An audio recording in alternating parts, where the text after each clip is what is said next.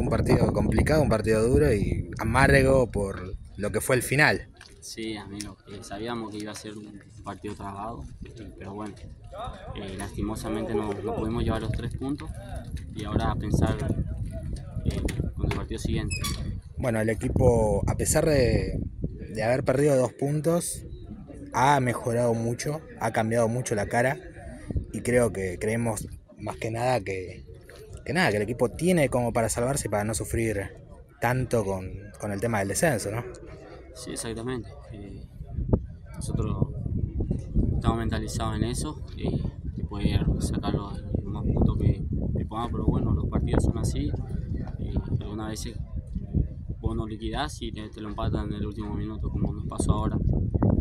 Y bueno, quedan ahora siete finales, empezando el próximo fin de semana contra Almagro, me imagino que pensar sí o sí en sacar los tres puntos, cosa que hoy no se pudo. Sí, exactamente.